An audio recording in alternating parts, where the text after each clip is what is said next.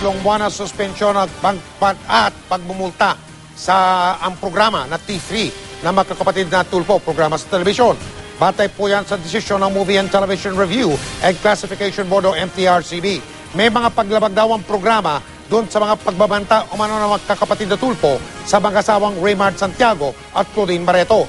Iaapila naman daw ng kanilang himpilan ng telebisyon ang desisyon. Nakatutok si Nelson Canlas.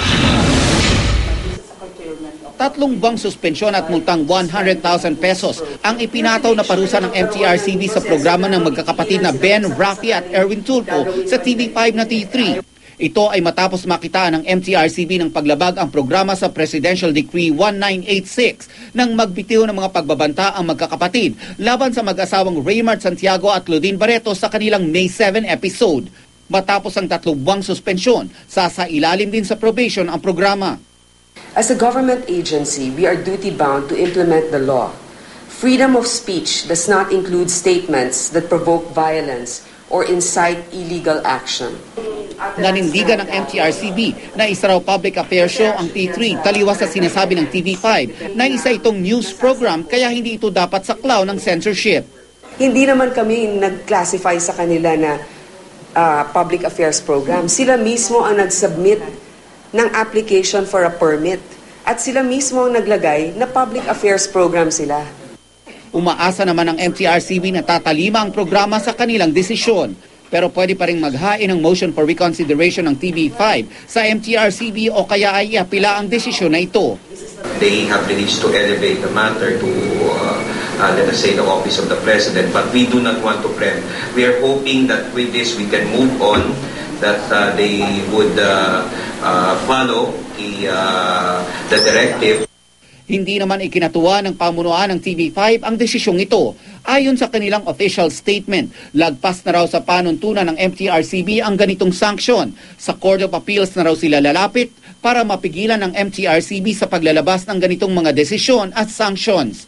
Ikinalulungkot din ng kolumnistang Simon Tulfo ang desisyon.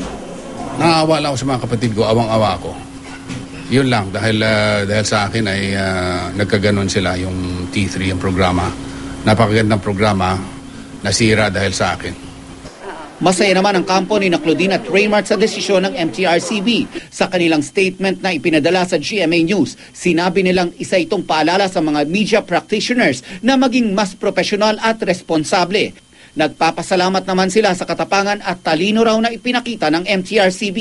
Samantala, nagkaharap naman kanina si Mon Tulfo at ang mga abogado ni na Claudine, Raymart at ang kanilang kaibigan na si Eduardo Atiliano sa unang pagdinig ng reklamong slight physical injury at grave coercion na isinampa ni Tulfo laban sa kanila sa Pasay City RTC. Nagsampa rin ang karagdagang reklamo na grave oral defamation si Tulfo laban pa rin kina Claudine, Raymart at Atiliano. as we go on with the case, as we study the case, we discover other things that uh, need to be addressed. Nakakagulat na may grave oral defamation pero tingnan natin kung ah, ano yung basihan kung bakit ah, ah, yun ang sinampa nilang kaso.